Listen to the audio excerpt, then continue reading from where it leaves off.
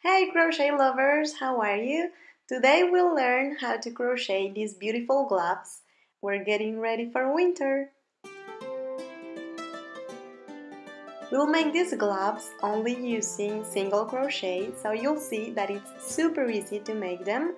The list with all materials is down on the description box and you can find everything as a DIY kit in my new Etsy shop, Media Luna Yarns, where you can choose between many colors of yarn and also many designs of buttons. We will start our glove with the cuff in back and forward rows and then we'll grow in spiral rows. Let's start! We start the cuff with a slip knot and then we'll make 9 chains for all sizes. Now we will go back by making single crochet. We start from the second chain from hook and we continue making single crochet until getting to the other side. We must have 8 single crochet here. For the next rows of the cuff from now on, we're going to start with one chain. We turn our project and we will identify the back loop of each of the stitches. We have one loop looking toward us and another loop looking back, so we will work only on the loops of the back. And we continue to the other side making one single crochet for every back loop available. Okay, this would be the last one. To see if we did it right, we can count them. We must have 8 single crochet each time when we end a row. And those instructions apply for the following rows. So for the size S, we will make 25 rows total. For the size M, 27 rows. And for the size L, 29 rows. If we want to make bigger sizes, for example for men, we just have to make more rows until the cuff uh, close on our wrist. So here I have my 25 rows, I'm making an S size and now we're going to close the cuff. We'll make one chain, we'll join both extremes and now we will join these with a slip stitch. We insert the hook on the first available stitch, then on the first chain on the other extreme and here we will make a slip stitch and we keep connecting this part of the cuff like this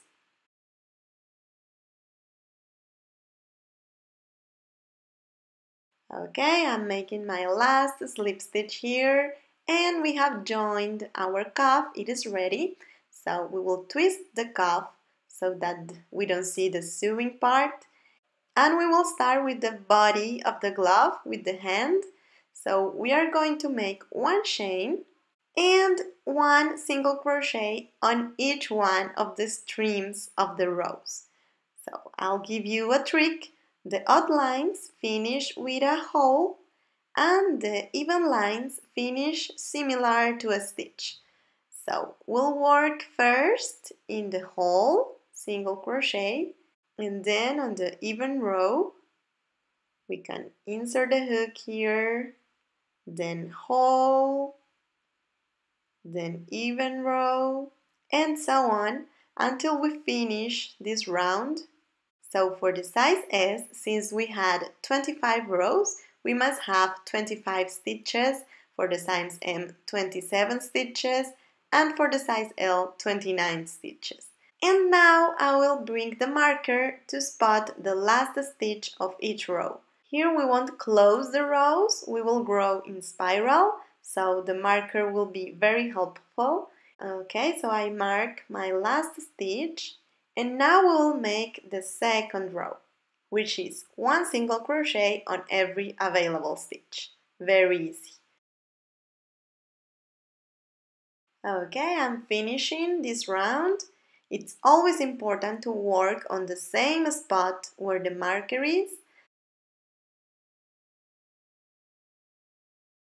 and then we will change our marker to mark the last stitch of this new row.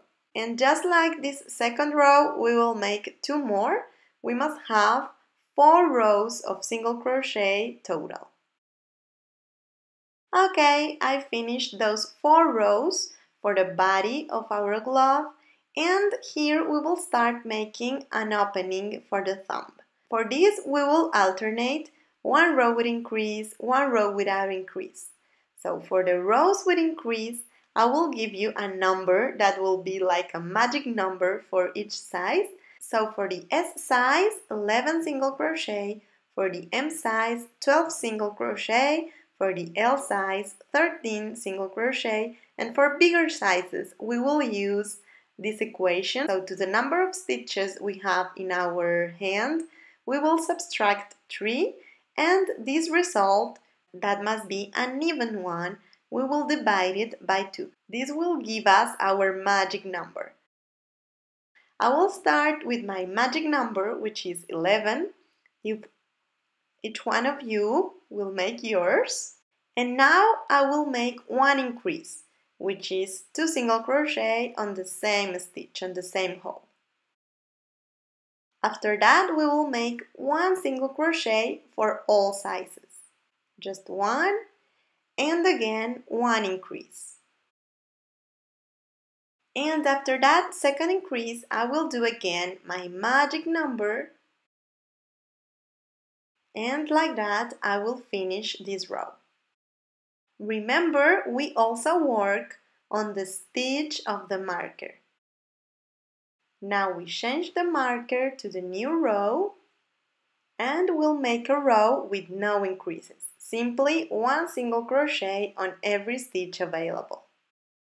Okay, I finished that no increase row and now I'm ready to make another row with increase. For this one, I will do again my magic number, in my case 11, and after our magic number, we will make one increase.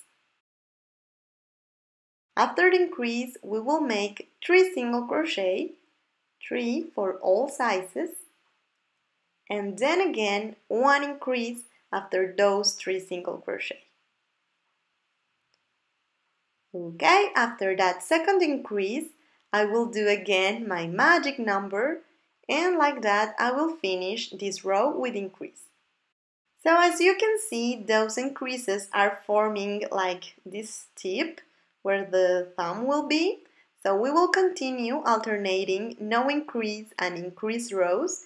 It's the same procedure. The only difference is the amount of stitches between increase and increase. So in the row we just did, there were three stitches between increases. So in the next there will be 5, in the next there will be 7, and so on. Here I will leave you the instructions for the next rows.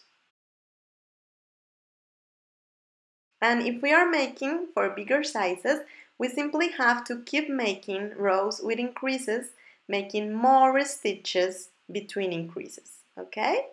Until we achieve the right height for the thumb opening.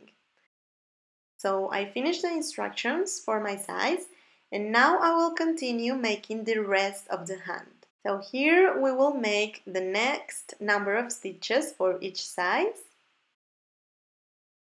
And after that number we will make two chains. We will turn our glove and we will insert the hook in the stitch on the other side. Here I make one single crochet and then we go to the other side until getting to the marker making single crochet. Great, so we have done that first row of the rest of the hand. We have our hole for the thumb and now we will continue working like this until our hand measures the following for each size. In the second row, when we get to the part of the two chains from the first row, we must work one stitch on every chain. This is how it looks and the rest is just to keep going up in spiral until getting the height for our hand. So I'll see you later. Okay, we keep going up until getting the height we need So we will stop working right on this stream because the first finger that we will make is the little finger. We will divide this section by 4. So I recommend you to put your hand on top of the glove. And well, this is the measure for the first finger. You can place a marker if you want. And let's start our pinky making one single crochet on each stitch until getting to the marker. Now we make two chains, make them loose, we turn the glove and we will insert the hook on the equal spot but of the other side over here. We continue making single crochet on every stitch available and we grow in spiral forming our little finger. There is no beginning or ending here.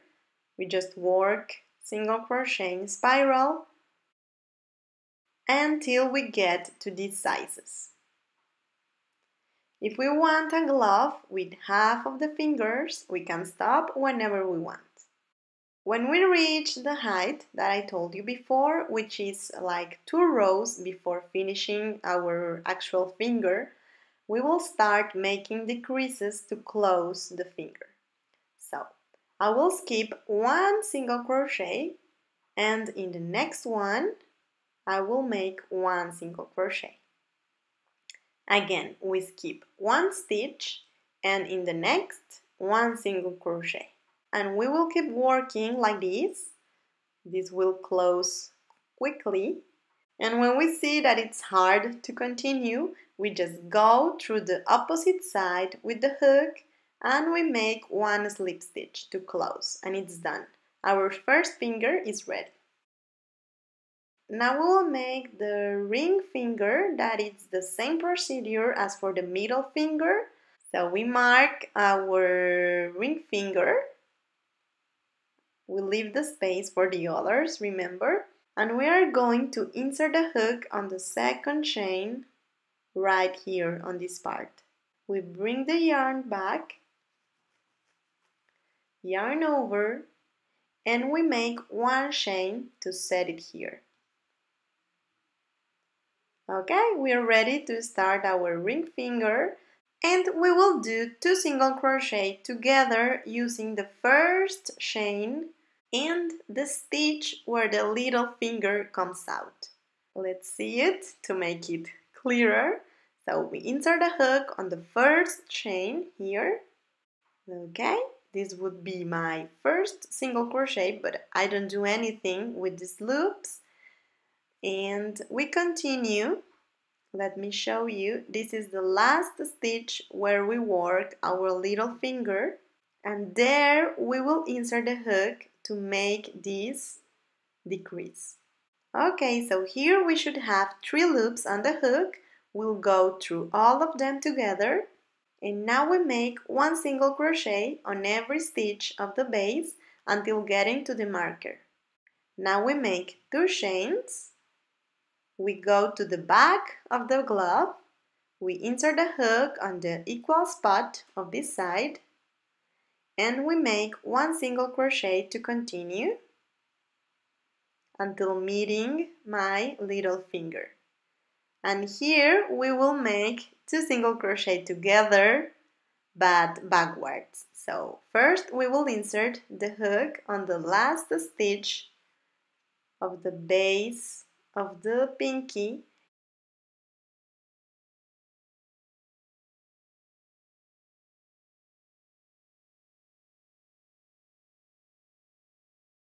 and then in the second chain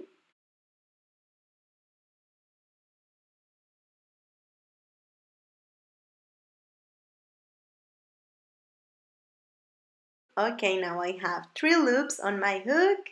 We go through all of them together. We will tighten this stitch to make a nice joining. And then we continue making one single crochet on every available stitch just like we did for the other finger. So we grow in spirals. Until our finger reaches this height for each size. So when we get to that height, we will start closing as we did with the other finger. Okay, we have two fingers now. Remember that the middle finger has the same instructions. We grow until our middle finger measures the following for each size. And when we reach that height, we close, skipping stitches, just like we did with the other two fingers. So the index and thumb start the same exact way as the other fingers, but since both are in the corner, we won't make the two chains as bridge. We just make one single crochet until connecting with the other side.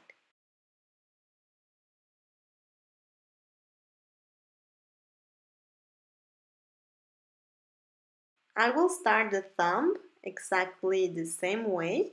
Here we've done two rows for the thumb.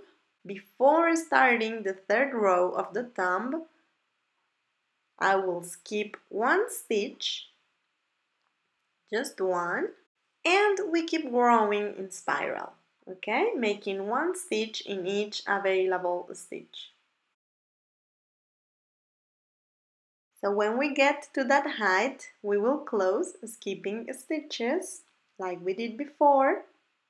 Okay, our five fingers are ready. Now we can hide all those threads with a yarn needle.